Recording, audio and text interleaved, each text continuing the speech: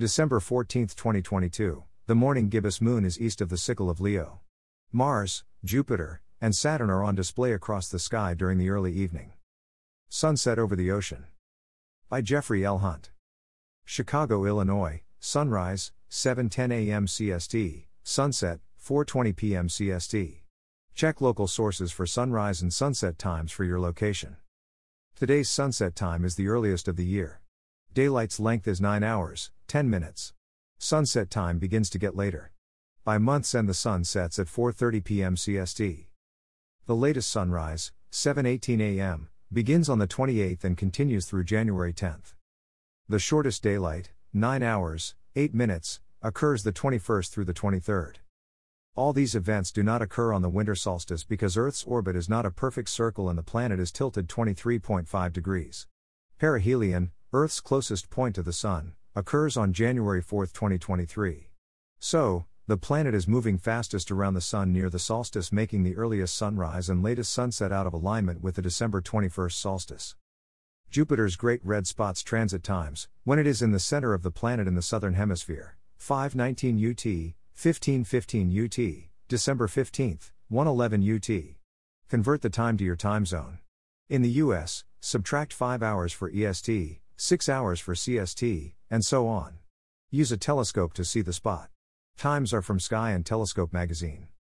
Photo caption dash, December 14, 1972. The Apollo 17 lunar module Challenger ascent stage leaves the Taurus Littrow landing site as it makes its spectacular liftoff from the lunar surface, as seen in this reproduction taken from a color television transmission made by the Color TV camera mounted on the lunar roving vehicle. This is the 50th anniversary of the last Apollo lunar mission, Apollo 17. December 14, 1972, the ascent stage of the lunar module left the Moon to rejoin Eugene Cernan and Harrison Schmitt with Ronald Evans, who performed experiments while orbiting the Moon. The astronauts were on the Moon for nearly 75 hours. Two hours after liftoff, the lunar module docked with the command module. Lunar samples were moved to the command ship to return them to Earth. Photo caption dash, December 14, 1972, View of the Lunar Module Challenger in lunar orbit before rendezvous with the Apollo 17 command and service modules. The lunar module ascent stage was separated from the command module. A remote command was issued to deorbit the craft. It crashed into the moon about 5 miles southwest of the Apollo 17 landing site. Seismometers left by other Apollo crews observed the tremors from the impact. Here is today's planet forecast. Morning sky. Chart caption 2022, December 14th. Before sunrise, the gibbous moon is east of the sickle of Leo. The gibbous moon, 68% illuminated, is over 50 degrees up in the southwest, east of the sickle of Leo, a backwards question mark shape that makes the head of Leo. Regulus, meaning the prince, is at the bottom of the shape and 4.2 degrees to the lower right of the moon. Denebola marks the tail, the brightest star on the eastern edge of the constellation. Regulus is the closest bright star to the plane of the ecliptic. The sun blocks out this part of the sky during late August. This morning's lunar spot is at about the sun's place during summer in the northern hemisphere. Chart caption 2022, December 14th. Mars is low in the west northwest before sunup. Mars, the third bright outer planet in the sky each night, is over 5 degrees above the west northwest horizon at 1 hour before sunrise. After tomorrow morning, Mars leaves the morning charts because it is too low to be easily seen. The scene shifts to the evening sky where the red planet is easy to see after sunset and during the early evening hours. This morning Mars is 9.6 degrees to the lower right of Elnath, the northern horn of Taurus. Evening sky. Chart caption 2022, December 14th. Venus and Mercury are low in the southwest after sundown. Venus and Mercury continue their entry into the evening sky. At 25 minutes after sundown, brilliant Venus is less than 5 degrees up in the southwest.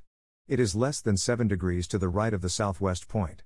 A compass, either classical or a digital app on a smartphone, may be needed to locate the direction point. The distance is about one binocular field of view. Mercury, over 6 degrees above the southwest horizon, is 5.7 degrees to the upper left of Venus, both visible in the same binocular field. Venus is bright enough that during the next few days it becomes visible to the unaided eye at about this time interval against the bright twilight. More southerly sky watchers may have already spotted it without a binocular. The two inner planets become easier to see each evening. By the 24th, they appear with the three bright outer planets and the Moon. Jupiter is visible at this time interval, but Saturn is considerably dimmer and not likely visible here.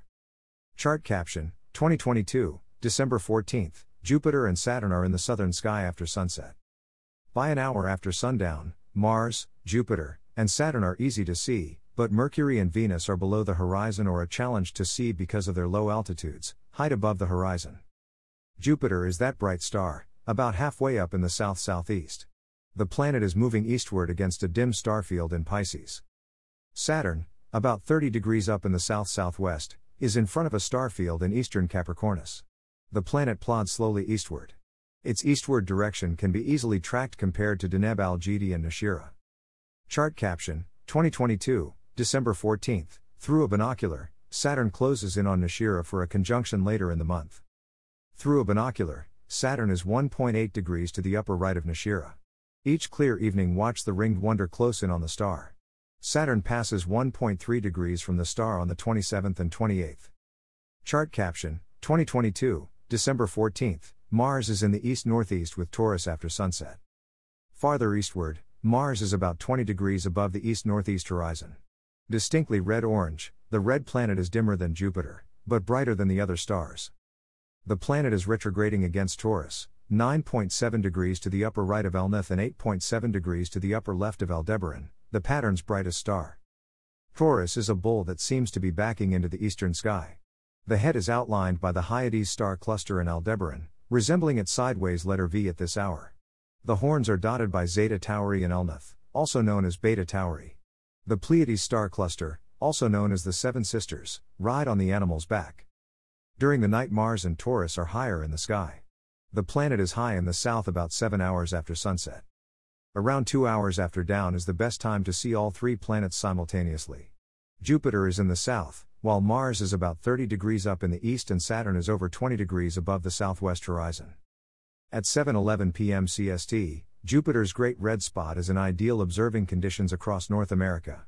The long-lived atmospheric feature is in the center of the planet in the southern hemisphere.